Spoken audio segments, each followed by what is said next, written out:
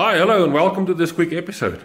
Have you ever wondered if it was possible to do perfect miters on really small components on a sliding miter saw? The answer is definitely yes. The only risk is you end up with your fingers really close to the blade and you don't want that. If the blade grabs the component, there's a good chance your finger will end up with the component in the blade and you will lose the finger. So I've done many cuts in the past on my on my table saw. Um, I built myself a, the, the slide on top of the table, and it gives you perfect miters every time. But not everybody has got access to a table saw. So let's say you have only a miter saw. Definitely, you can do safe cuts.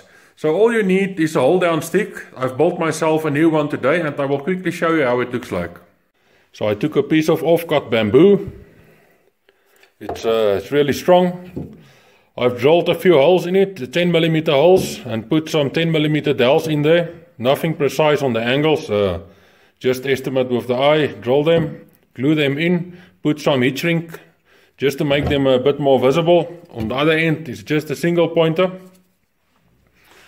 So if you have a small piece on uh, on the miter saw, let's say you want to cut a 45, this is a really really small piece.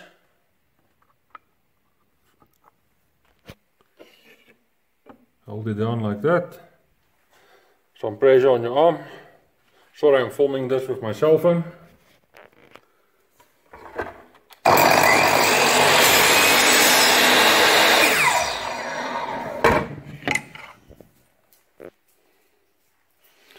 And you still have all your fingers.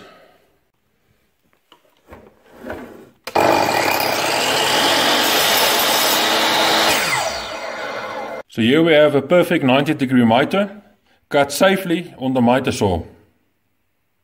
Like I said, this was a really short video. I hope you have enjoyed it and I hope you've learned something out of it. So thanks for watching, thanks for all the subscribers this far, and I see you on the next one. Bye bye.